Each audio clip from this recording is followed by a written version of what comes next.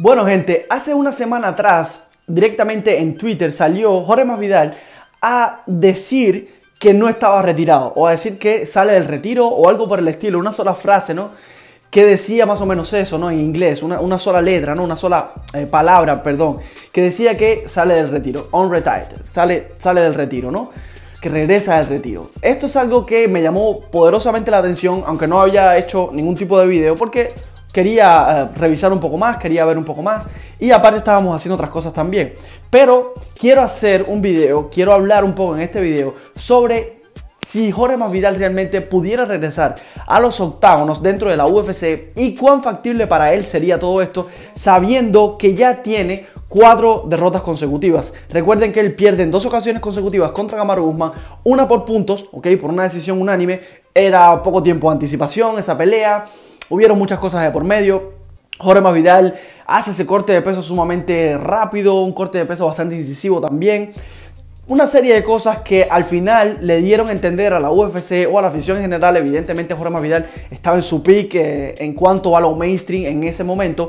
Y pues todo el mundo quería ver a Jorge Masvidal con un campamento de pelea amplio, con un campamento de pelea completo para enfrentarse a Kamaru Usman. Por lo tanto, a partir de ahí le dan la revancha directa y él pues hace un campamento de pelea grande, hace un campamento de pelea exhaustivo como debería hacerse para Kamaru Usman. Sin embargo, todo esto no valió absolutamente de nada, porque Kamaru Usman en ese primer asalto, creo que fue o segundo, le da un caos sumamente fulminante, pero un caos para la historia, uno de los caos más bonitos que hemos visto por un campeonato dentro de la UFC. Y sobre todo de las 170 libras, evidentemente. Ahora bien, luego de eso, Jorge Masvidal se enfrenta a Colby Covington, esa riña que tienen ellos hace muchísimo tiempo, pues terminan por llevarla dentro del octágono, que claro, no terminó ahí la cosa, también fue fuera del octágono que siguió la pelea, pero dentro del octágono, lo que es en la jaula, lo que es bajo las reglas de la UFC, pues Colby Covington le da una pasada por arriba a Jorge Masvidal. Lo mejor que hizo Jorge Masvidal en toda la pelea fue un pequeño, entre comillas, knockdown, que realmente lo que hace es eh, Colby Covington poner la rodilla en el suelo y fue en el cuarto asalto si mal no recuerdo, ¿no? Fue un golpe prácticamente de suerte, diría yo, porque estaban más o menos haciendo unas combinaciones, estaban haciendo unos intercambios y Jorge Vidal eh, en ese intercambio logra encontrar el tiempo y le conecta un buen gancho a, Colby Covington y le pone la rodilla en el suelo. Sin embargo, Colby se levanta y sigue haciendo de la suya, sigue con sus embates, sigue con sus derribos, sigue con su gran ampao, sigue incluso en los intercambios sacando la mejor parte. Por lo tanto, ya ahí veíamos una decadencia bastante amplia por parte de Jorge Masvidal. Hay que decir una cosa que es real, Jorge Masvidal solamente lo finalizaron una ocasión y fue precisamente Kamaru Usman. Pero luego de eso fue la pelea contra Colby Covington, que fue una pasada por arriba total y absoluta. Y para finalizar, para ponerle la guinda al pastel, todo el mundo creía que la pelea de un niño iba a ser como la reivindicación. Sin embargo, nosotros estuvimos hablando en el canal, pueden buscar el video, eh, cuando esa pelea estaba ocurriendo, cuando hicimos las predicciones de esa pelea, yo lo estuve diciendo, Jorge Masvidal no tiene lo que se necesita para ganarle a Gilbert Burns. Gilbert Burns está fuera de serie, en ese preciso instante estaba fuera de serie. Yo me atrevo a decir que todavía, a pesar de la lesión que sufrió en la pelea contra Belal Mohamed y que termina perdiendo, perdiendo no dicha pelea, me atrevo a decir que Gilbert Burns es un tipo sumamente peligroso todavía dentro de la división de las 170 libras. Entonces en ese momento, muchísimos fanáticos, muchísimas personas que siguen a Jorge Masvidal, muchísimos fanáticos directamente de la UFC o canales que hablan sobre la UFC, estuvieron diciendo de que esa iba a ser la pelea que iba a reivindicar a Jorge Masvidal como peleador y que a partir de aquí iba de nuevo a hacer una carrera por el cinturón. Yo lo dije que no, Jorge Masvidal ya no es ese tipo de peleador después de ese caos que sufrió contra Camaro Usman, después de esas dos derrotas consecutivas, después de esa pasada por arriba que le dio Colby Covington, esa cuarta pelea contra eh, Gilbert Burns no iba a ser diferente. Gilbert Burns le iba a pasar por arriba. Y yo me atrevía a decir que si la cosa se complica, incluso me atrevía a decir que un caos puede, podía ser presente. Ahora bien, todo el tiempo estábamos con eso de la incertidumbre, ¿no? Jorge Masvidal puede hacer algo, Jorge Masvidal en cualquier momento puede darte un caos. Todo eso al final quedó en nada. Gilbert Burns le pasa por arriba a Jorge Masvidal y Jorge Masvidal se decide retirar. ¿Por qué digo todas estas cosas? Porque estábamos viendo a un Jorge Masvidal todo el tiempo en decadencia, un Jorge Masvidal cada vez más abajo. Ahora bien, decide retirarse y a mí me pareció una cosa sumamente precisa. Creo que fue lo correcto en el momento preciso decidir retirarse de las MMA, decidir retirarse de la UFC para de esta forma no seguir perdiendo ese legado que había creado Jorge Masvidal, ese legado de BMF, de tipo malo, de tipo duro, de tipo que llevaba un montón de peleas dentro de la UFC, un montón de victorias, pero también algunas derrotas, unas cuantas derrotas. Por lo tanto, Jorge Masvidal creo que decidió retirarse de manera correcta desde mi punto de vista. No sé si el ambiente que él tenía, no sé si las personas que estaban cerca de él lo aconsejaron de mejor manera, pero yo creo que fue lo correcto retirarse en ese momento. Esto que está diciendo la hora que quiere volver y no es la primera vez que él habla un poco sobre regresar la UFC. Él ha tratado de hablar sobre esto en ciertas ocasiones anterior a este, este tweet que él hizo, ¿ok? Y todo el tiempo estaba diciendo que muy probablemente puede regresar, ¿ok? Incluso eh, Mike Perry creo en lo que es Bernocle estuvo diciendo que podía meterse en la jaula con él, hacer una pelea a, guante, a, guante, no, sin guante, no directamente a puño limpio. Y Jorge Masvidal estuvo negándose a esa situación porque después de todo el tiempo de pelea que él ha tenido dentro de la UFC, incluso antes de la UFC, en las peleas que él hacía en los barrios, etcétera, en los patios de las casas, pues todo esto es un daño acumulativo bastante grande como para seguir haciéndose más daño. Y ahora bien, me gustaría quedarme con esa parte de Jorge Masvidal y volver a decir, si tú sabes ya que tienes todo este daño recibido a lo largo de toda tu carrera como peleador de artes marciales mixtas, a lo largo de tu carrera antes de la UFC, que era en los patios, haciendo toda esta serie de cosas que era una locura, ¿ok? Si tú sabes todo el daño acumulado que has tenido, ¿por qué quieres regresar otra vez a la UFC para pelear con quién? Para seguir recibiendo daño. ¿ok? Para hacer un qué? Otro Tony Ferguson de la vida que lleva 7 y 0. Vi de hecho un cartel que muy probablemente se los voy a estar enseñando en el video, ¿no?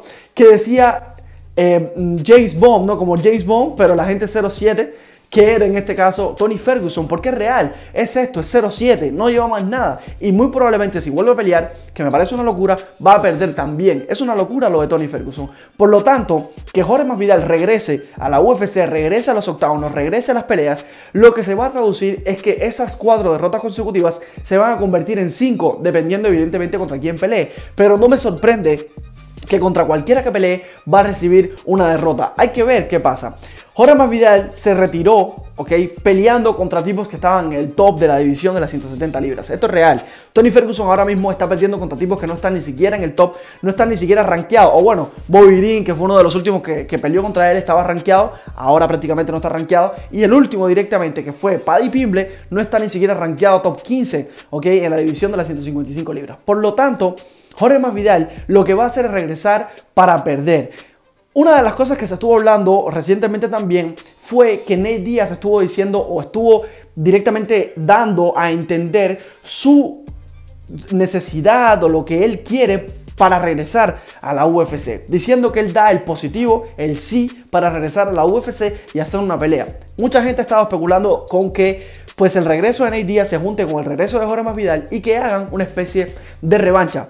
O otra de las cosas que se ha hablado también mediante las redes sociales es que Jorge Masvidal regrese a la UFC y se enfrente ¿okay? por el actual eh, BMF contra el actual BMF de la, la UFC que es Justin Gaethje. Una cosa que me parece de locos, ahora mismo en primera Justin Gaethje está viendo ¿okay? con buenos ojos pelear por el cinturón de las 155 libras. Hay muchas cosas que están en medio de todo esto, puede que sí, puede que no. Está también Oliveira de por medio, hay que ver qué pasa, pero Ahora mismo, ok, Gaethje está a punto de pelear por ese cinturón, está bien cerca de pelear por el cinturón indiscutido. Por lo tanto, ese negocio está, totalmente primero, principal para ahora mismo la carrera de Gaethje es pelear por ese cinturón antes de darle una pelea a Jorge Masvidal en caso de que él regrese. Otro nombre más que está sonando para Jorge Masvidal en caso de que regrese es, por ejemplo, el de Conor McGregor, que va a pelear ahora mismo, o él estuvo diciendo que va a pelear en 185 libras contra Michael Chandler. Hay que ver todas estas cosas si ocurren realmente, porque hasta ahora, cuando yo estoy haciendo este video, no hay nada que sea confirmado. Sin embargo, Todas estas son teorías de la conspiración que han estado diciendo muchísimas personas como peleas posibles para Jorge Masvidal. Incluso hay personas que se atrevieron a decir que contra Colby Covington.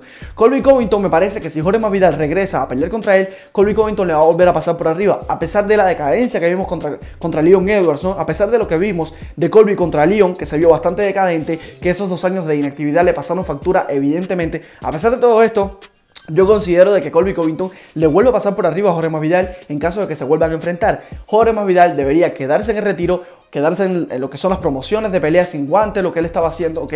Me parece que eso es lo correcto para su carrera y no regresar, no hacer otro Tony Ferguson, porque perderíamos otra estrella más, perderíamos otro legado más, otro tipo que realmente era un guerrero de la UFC, porque Jorge Masvidal era un guerrero de la compañía, es un tipo que tuvo mil batallas, se pudiera decir, un tipo que tuvo muchísimas peleas dentro de la compañía, muchísimas victorias, nos regaló muchísimas noches espectaculares. Ese año 2019 fue uno de los años más bonitos que vimos dentro de la UFC en cuanto a la figura de Jorge Masvidal con esas tres victorias consecutivas espectaculares. Por lo tanto, yo considero de que Jorge Masvidal debería reconsiderar esto de regresar a la UFC. Hay muchas personas hablando sobre esto, pero yo creo sinceramente de que Jorge no debería regresar a la UFC, no debería regresar a los octágonos, debería quedarse en el retiro. Seguir haciendo otro tipo de cosas, ayudando de la forma en que él está ayudando a jóvenes prospectos, a jóvenes que están saliendo de las calles, eh, a que directamente entren en el mundo legal de las peleas y todas estas Creo que esta es la buena manera que él debería seguir con su carrera, digamos, mezclada con la UFC o mezclada con las artes marciales mixtas, más no regresar del retiro, desde mi punto de vista. Así que nada, gente, yo lo dejo por aquí. No olviden de suscribirse y regalarnos un like. Nos vemos en el próximo video.